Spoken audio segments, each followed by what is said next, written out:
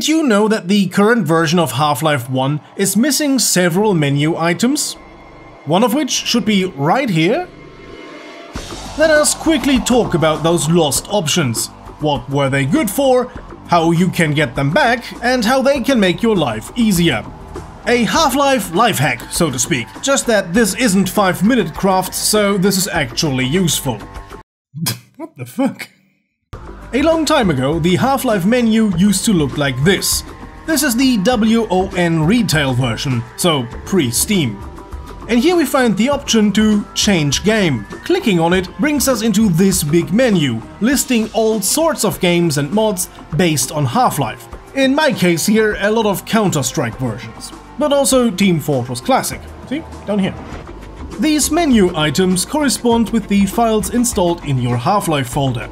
Official Valve games and mods behave the same way in this file structure.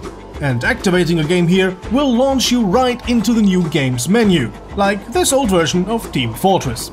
This change game menu negated the need to have 25 different desktop icons with shortcuts to launch each and every mod. It saved me from a lot of clutter on my computer. Modern Half-Life running with Steam does not feature this menu.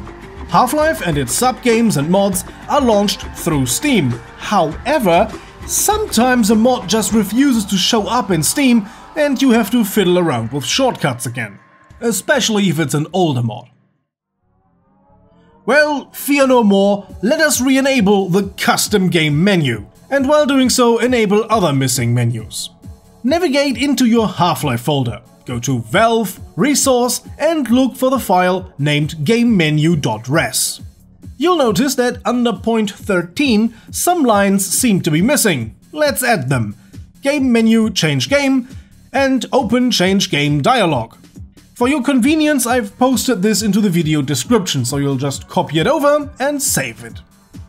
As you can see, we can now launch our Half-Life based games through the Half-Life 1 in-game menu. This is pretty useful, especially for the folks playing old mods. Let us go back to the res file. There's a section which is commented out. Simply delete the forward slashes and save, and boom, there's the demo viewer in the main menu. Maybe this is more useful for games like Counter-Strike, but the process works just the same as in any other Half-Life based game, so you're welcome, you got the demo viewer right at your convenience. But we can do more with the res file. We can even add our own menu points, even if they don't serve much purpose. Let's hypothetically say you often find yourself in a situation that you just need to be on Dust 2 as fast as possible. Alright, engine, map, d underscore dust 2.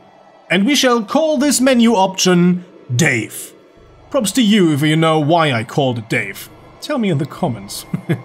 Launch the game, click on Dave, and I forgot to put Dust 2 into the Half-Life folder. Yeah, eh, just be sure the thing you want to launch actually exists in the files.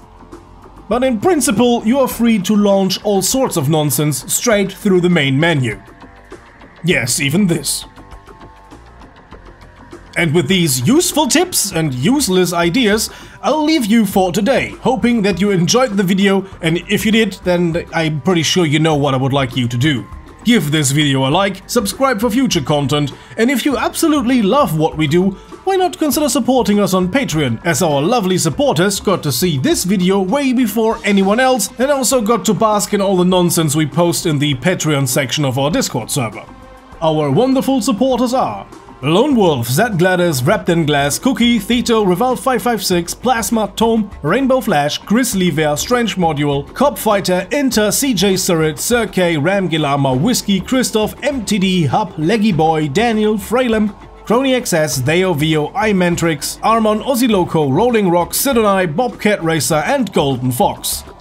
A heartfelt thank you for your support. To them and everyone else, thanks for watching. So, see you guys next time. Until then, have a nice day, and as always, goodbye and guten Tag.